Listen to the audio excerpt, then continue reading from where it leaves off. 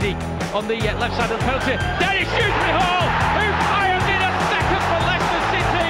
Ndidi, lovely feint to shoot, and then the finish from Wilfred Ndidi. It's Ndidi squaring it to Vardy, controls left footed, the cube angle, brilliant goal! Oh, it's Vardy at his best. Dewsbury-Hall to Ndidi. Oh, what a goal this would be! Kelechi Iheanacho. Fatawu, can he get his shot away?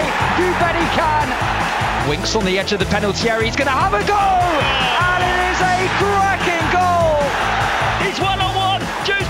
Dewsbury it to Harry Winks, who surely wins the game. And he's found Mavididi, who chipped it over running. And can you believe it? Leicester have scored. Deflects as far as Ndidi, and then Daka is there.